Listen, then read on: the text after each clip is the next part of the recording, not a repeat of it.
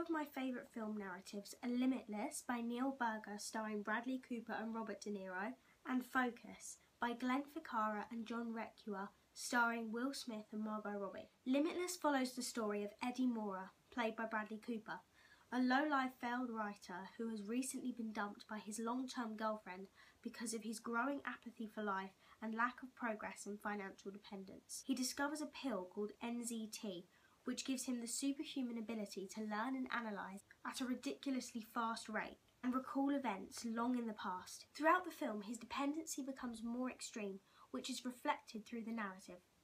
I find this film's narrative particularly intriguing as time lapse is used to represent Eddie's inability to account for the hours in his days as he increases his dosage of NZT. Fluorescent and fast flashing colours are used to blur all of the images around him when he is in extreme focus, which can be very disconcerting for an audience to watch as we begin to trip out just like Eddie. The narrative isn't chronological, as it jumps through time like Eddie experiences, and I think this is why the film is so engaging, as there is a certain amount of enigma sustained throughout, and the audience have to work hard to piece together the events which Eddie is uncertain. The way this film uses Eddie's constantly changing character keeps the audience unsure what he will do next, which sustains my excitement. The whole film is from his point of view, so as he loses his memory, we feel lost without his narration, and we begin to empathise with him. Sound is also very effectively used as it becomes muffled when his dosage increases and the volume rises as his brain struggles to function,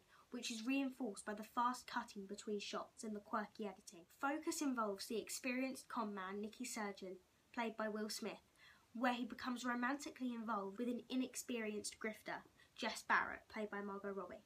As they conduct pickpocket operations together, many flashbacks and quick shot changes are used to show the audience how they succeeded. There is one particular scene when they con a big time gambler out of millions after Nicky convinces him to take part in a game of chance. It is revealed through flashbacks with a low colour grade creating an ambience of mystery how the con worked. Time lapse is used for a short few minutes to establish the length of time they instilled the data in the gambler's brain to lose at Nicky's game. The conflict between Nicky and the gambler is found through their similarities in suave, cocky, and oblivious attitude.